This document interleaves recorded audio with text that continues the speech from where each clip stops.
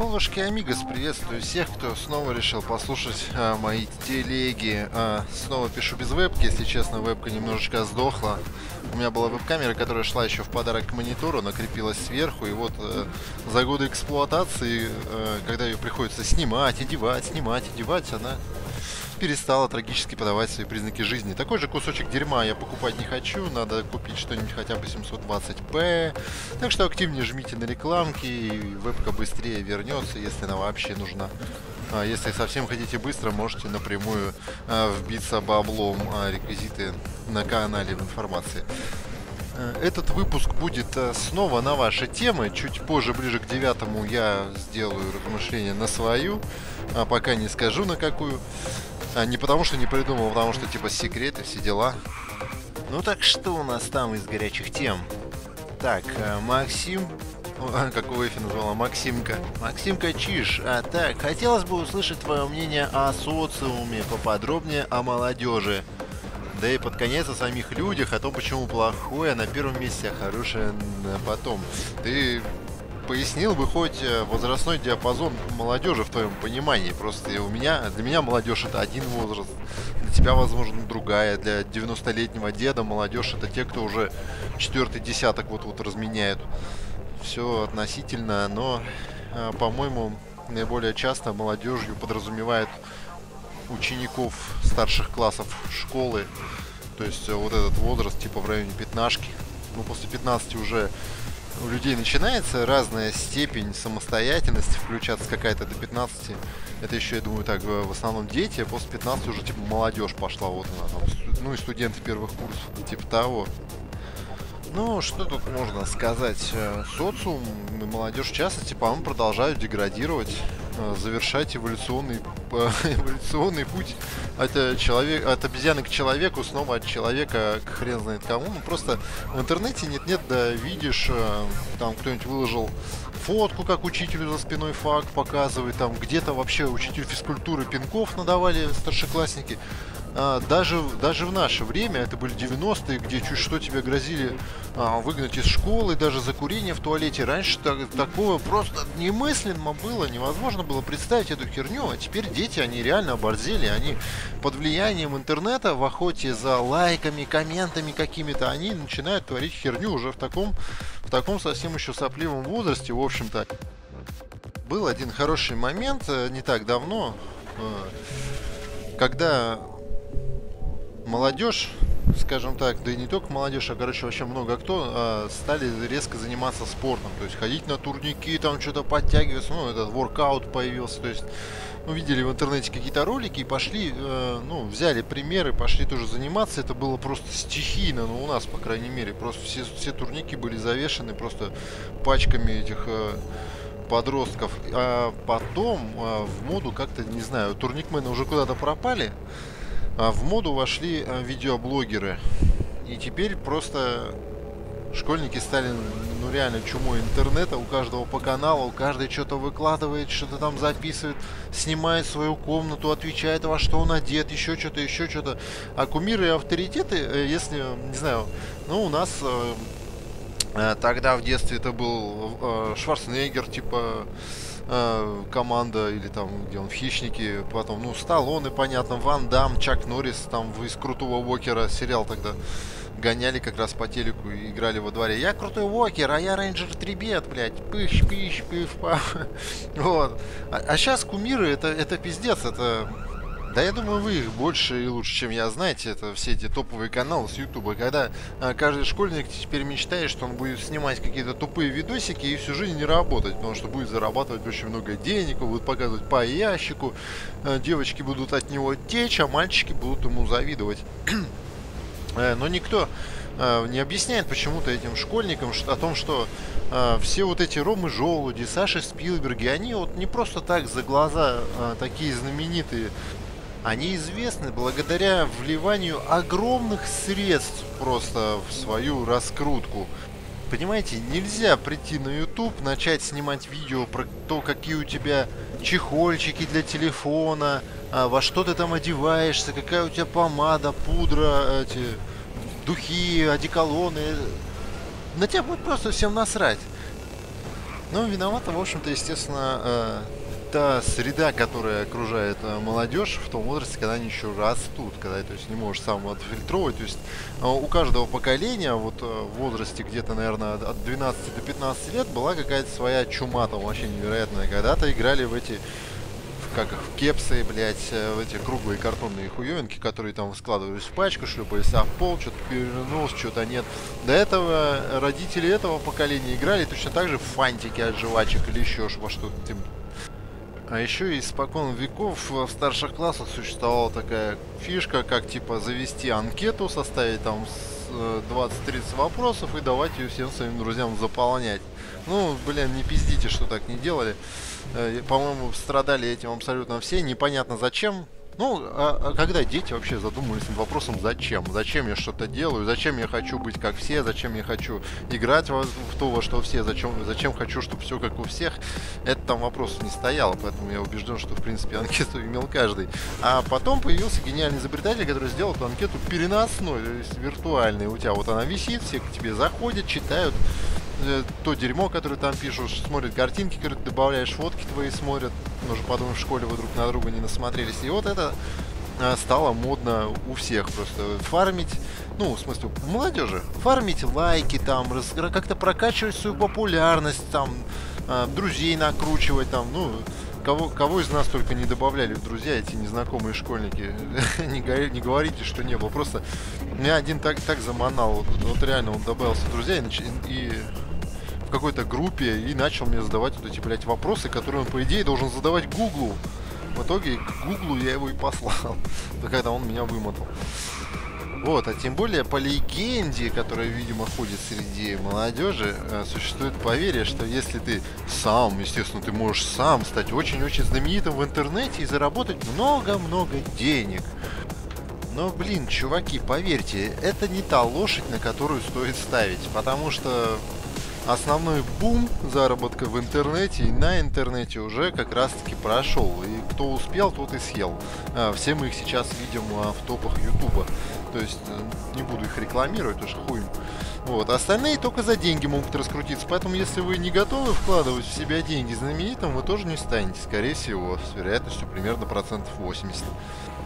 Так что, в принципе, для молодежи во все времена, наверное, только один совет. А не пытайтесь угнаться за фишкой, которая была до вас, ждите, когда бахнет фишка новая, от которой снесет башню у поколения предыдущего, которое как раз подвержено вот этому вашему зомбированию. То есть что-то резко войдет в моду, и надо умудриться вот в этот э, промежуток времени, пока это модно, на этом как следует навариться.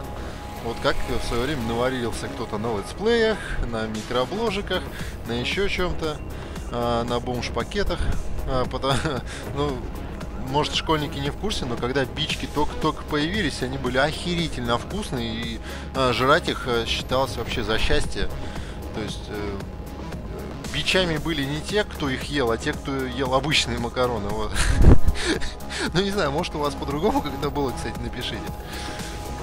Ну вот, а по поводу того, что в конце Максим спрашивает, э, почему плохое на первом месте, а хорошее на потом, можно сказать, что Дурной пример, он всегда заразителен, а теперь он не только заразителен, но еще и заманчив. Поэтому все, все плохое будет всегда на первом месте. Всегда на первом месте будет желание воровать ездить на хорошей машине, чем жить честно и встретить старость, э, побираясь возле церкви. И тут, кстати, плавно можно перейти к следующей теме от Александра Назарова. А, первая тема а, «Высшее образование и наше светлое в кавычках будущее в лице подрастающих дебилов. Как быстро из-за них развалится страна». Но тут надо заметить, что примерно такого же мнения каждое поколение о, о последующем. То есть когда-то нашим родителям казалось, что мы все херней страдаем, теперь нам кажется, что в этом ничего нового нету. Так что при нас страна не разваливается и при них, глядишь, не рухнет. Э. Ну а высшее образование, эта тема, конечно, прям вот, прям вот жгет.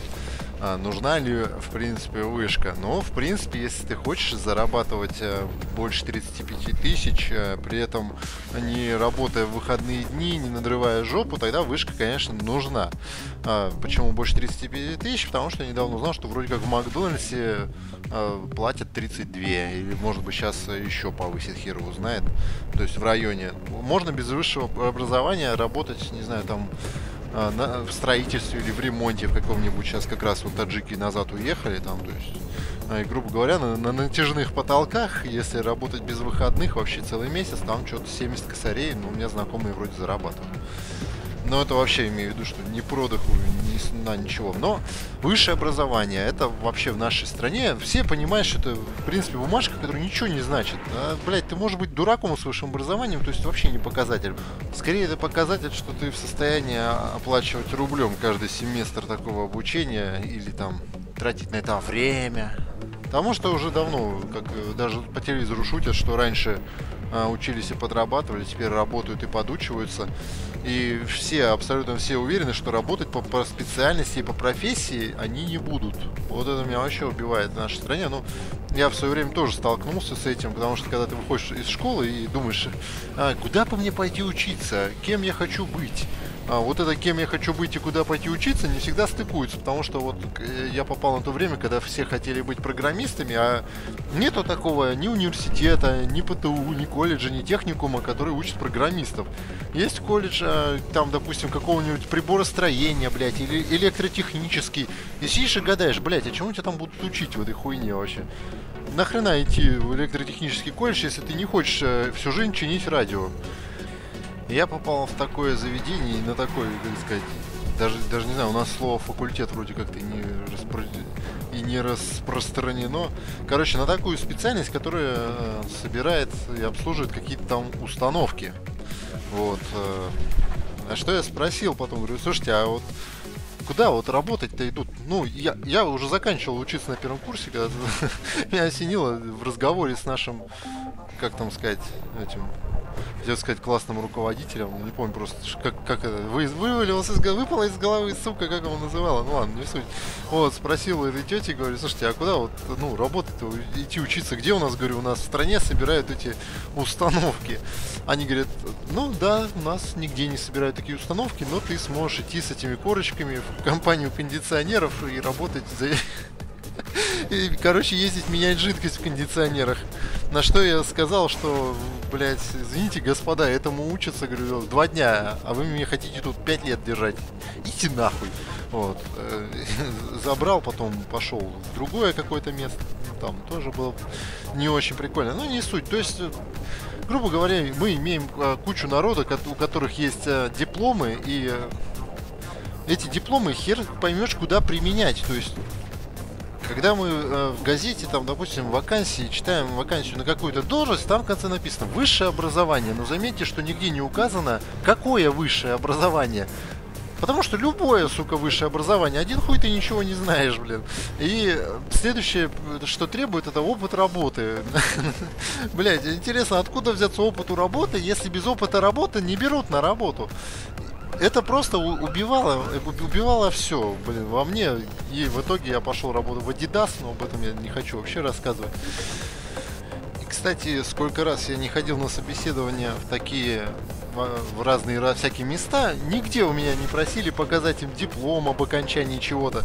То есть, э, если вы ищете работу, я вам советую, э, укажите просто, что у вас незаконченная вышка, или напиздите, что у вас вышка есть. Один хуй, я ни разу не видел такого, что попросили диплом принести, им похуй.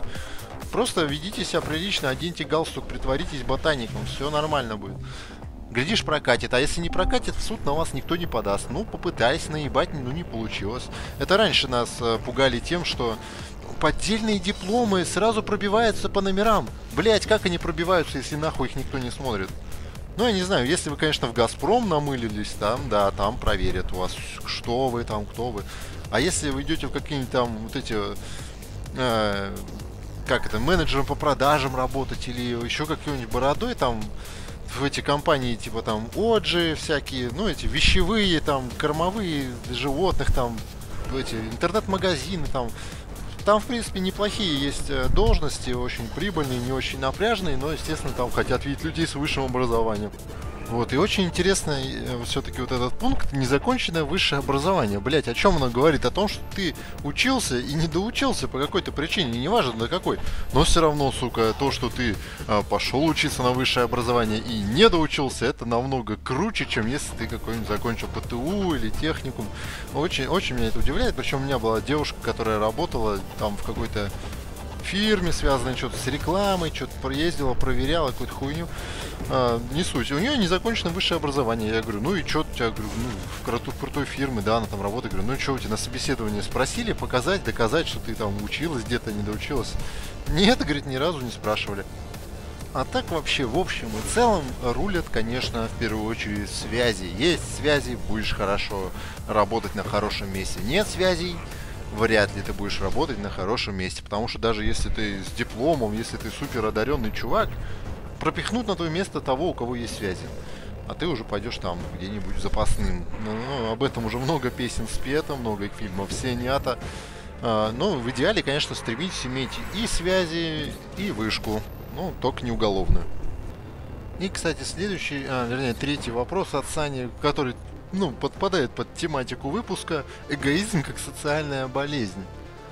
А, я почему-то сразу вот вспоминаю, э, в первую очередь, эгоизм как социальная болезнь, это, знаете, вот этих друзей, которые вот устроились работать сами по связи, по связям, ну, то есть мамы куда-то их пристроили, папы, где-то братья, блядь, мужья, сестер, еще какая-нибудь хуйня.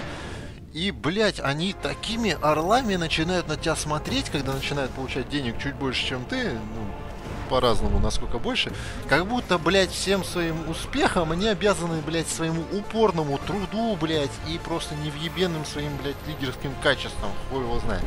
То есть они тебе дают советы, блядь, какие-то. Но, э, знаете, а я все время на них смотрю, блядь, они когда тебе что-то советуют или что-то говорят, они. Я, я их вижу, знаете, они как Цезарь, блядь, на коне сидячий, блядь, сидят, и тебе так рукой дланью махнули и говорят, ха, квартиры нынче так дешево стоят. Есть у меня одна знакомая, блядь, папа тебе купил квартиру, папа, для па у папы спроси, дешево это, блядь, 6 лямов, или нахуй не дешево, блядь. Пиздец, ты иди нахуй на квартиру, заработай, блядь. А, ну ты у папы. Не, она работает у папы, она заработает, заебись. А вот э, иди, блядь, не знаю, на какой-нибудь другой работе заработай на квартиру и, блин, свои-то 28 и рассказывай потом, какая она дешевая. Блядь. И, сука, почему-то никогда эти люди, которые вот сами по связи куда-то пристроились, они никогда тебе ничем, кроме совета, нихуя не помогут. Они никогда не пробьют тебе место, ничего там. А, в лучшем случае, если себе в подчинение какое-нибудь, это, это и то хорошо. И желательно, чтобы еще не задрочили после этого, потому что, как говорится, хочешь узнать, какой человек говно, дай ему хоть немножко власти. Понятно, что каждый сам у себя на первом месте, и, это, и именно это и называется эгоизмом. Но, блин, есть такой отдельный сорт людей, которые вместо «помогите по ближнему своему» начинают мериться с тобой пиписьками охотно там. А, а что у тебя за часы? А у меня вот такие часы. А, пиздец. А что у тебя за зарплата? А у меня такая зарплата. Э, папа купил Infinity. А, если у вас есть такие друзья, просто пожелайте им а, не знаю, лежать в золотом гробу и, блядь, не общайтесь с такими людьми просто. Вот. А, но если под эгоизмом вы подразумеваете понятие, почему депутат на народные деньги купил себе дачу и не сделал дороги, то тут э, это все списывается на менталитет. Э, об этом тоже уже много спето, много нашучено, много анекдотов рассказано, парочку даже я знаю, но, сука, длинные, как назло все. Вот, э, но в частности можете послушать, э, э, посмотреть лучше видео, называется Орлуша стихи про зависть. Но я, может, в группу кину или здесь в комментах отпишу. В общем, вот, я вообще, в принципе, планирую эти выпуски больше не делать 40-минутными, ну, по крайней мере, по вашим заявкам, потому что я к 40 минутам не готов. А вот э, минут 20, э, но, в принципе, разан в неделю, а может и чаще, будет, я думаю, самое оно. Так что, спасибо за внимание, что-нибудь нажмите, что-нибудь напишите. И адьё. И да, если вы хотите оставить свою тему, то зайдите в группу, в нашу группу ВКонтакте, и там увидите тему про темы. Типа того.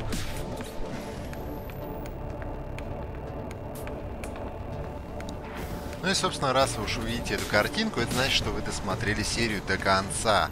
А это значит, что самое время для видеоурока о том, как добавить мой канал в белый лист в расширении AdBlock. Нужно правой кнопкой кликнуть по его значку в вашем браузере, поставить галочку напротив, напротив вот этого пункта, затем зайти на мой канал или на любое видео, нажать на этот раз левой кнопкой мыши по значку этого расширения и выбрать э, вот этот пункт. Не надо думать, что реклама это что-то ужасное, что помешает вашему просмотру. Выскакивает она от силы раза 3 или 4 за всю серию. В основном в виде маленького незаметного окошка внизу а, экрана, которое можно к тому же и закрыть. А если не закрывать, то через какое-то время окно само побледнеет. Просмотр и клики по рекламе помогают каналу развиваться и все такое прочее, поэтому если вы неравнодушны к чьему-то творчеству на ютубе, добавляйте его канал в белый лист, не будьте жопами. В то же время не стоит отключать это расширение совсем, чтобы хуесосы, которые занимаются перезаливкой чужого творчества на свой канал, не получали с этого вообще нихуя. На этом все, спасибо, амигос, я вас верю.